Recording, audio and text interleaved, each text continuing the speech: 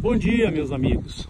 Estamos aqui na SQN 405 fazendo campanha do quilo nesse dia tão bonito como a gente está vendo aqui, né? E hoje o que, que nós fizemos? Distribuímos mensagens com teor espírita e arrecadamos donativos, como estes aqui. Alimentos e também gêneros né, de limpeza e vestuário, roupas, calçados, Aqui nós temos os nossos trabalhadores. Aqui é a Regina, a Leonor, Jorge, Fogaça, João Idílio e o Jai. E eu também, o Ed. A gente agradece muito aos moradores que doaram, aos trabalhadores que vieram trabalhar e a espiritualidade amiga que está sempre nos assistindo, nos ajudando.